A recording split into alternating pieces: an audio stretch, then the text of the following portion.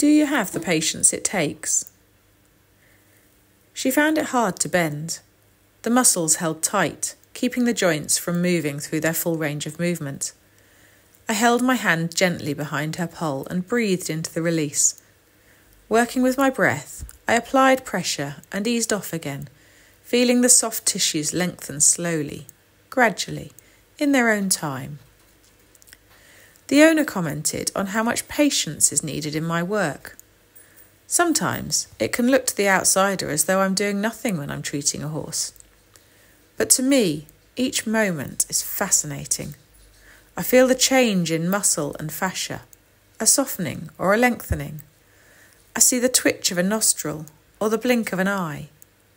There might be a subtle shift in posture, a lift through the withers, or more weight taken through the hindquarters.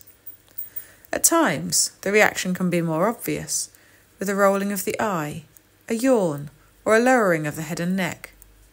It may seem as though I'm patiently waiting, but to me, there's change in every moment, and patience doesn't come into it.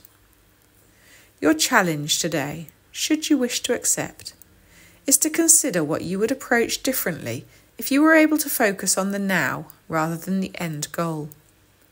Might it take less energy to enjoy the moment than to summon the patience to wait to get where you want to be?